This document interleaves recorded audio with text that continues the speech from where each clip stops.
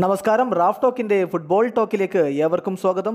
Brazilian super താരം Neymar P S ജിയിൽ തുടരുന്നതിൽ ആഹ്ലാദം പ്രകടിപ്പിച്ച് പി എസ് ജിയുടെ നായകൻ കൂടിയായ ബ്രസീലിയൻ ഡിഫൻഡർ തിയാഗോ സിൽവ രംഗത്ത്. കഴിഞ്ഞ ദിവസം കൊളംബിയയ്ക്കെതിരെ നടന്ന സൗഹൃദ മത്സരത്തിൽ നെയ്മർ ഗോൾ നേടിക്കൊണ്ട് കളിക്കളത്തിലേക്ക് തിരികെ എത്തിയിരുന്നു. ഈ മത്സരശേഷമാണ് തിയാഗോ സിൽവ മാധ്യമങ്ങളോട് നെയ്മർ പി എസ് ജിയിൽ തുടരുന്നതിലെ സന്തോഷം തുറന്നു പറഞ്ഞത്. സിൽവയുടെ വാക്കുകളിങ്ങനെ ദൈവത്തിന് നന്ദി നെയ്മർ പി എസ് ജിയിൽ തുടരുന്നു. അവൻ പി എസ് സിയിൽ തുടരുമെന്നതിൽ ഞങ്ങൾ ഏറെ സന്തോഷത്തിലാണ്. കാരണം ഞങ്ങളുടെ ലക്ഷ്യം വളരെ വലുതാണ്. എല്ലാവർക്കും അറിയാം അതെന്താണെന്ന്.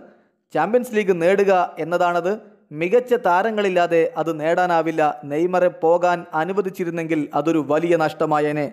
മൂന്ന് മാസങ്ങൾ കളിക്കാതിരുന്നിട്ടും എത്ര പ്രധാനപ്പെട്ട താരമാണ് താനെന്ന് കൊളംബിയക്കെതിരെയുള്ള മത്സരത്തിൽ നെയ്മർ കാണിച്ചു തന്നിരിക്കുന്നു തിയാഗോ സിൽവ പറഞ്ഞു.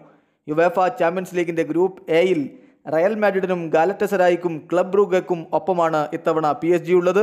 കഴിഞ്ഞ സീസണിൽ റഫറിമാർക്കെതിരെ ഇൻസ്റ്റഗ്രാമിൽ പോസ്റ്റിട്ടതിന് യുവേഫയുടെ വിലക്കുള്ളതിനാൽ ഇത്തവണത്തെ ചാമ്പ്യൻസ് ലീഗിലെ ആദ്യ മൂന്ന് മത്സരങ്ങളിൽ നെയ്മർക്ക് കളിക്കാനാവില്ല.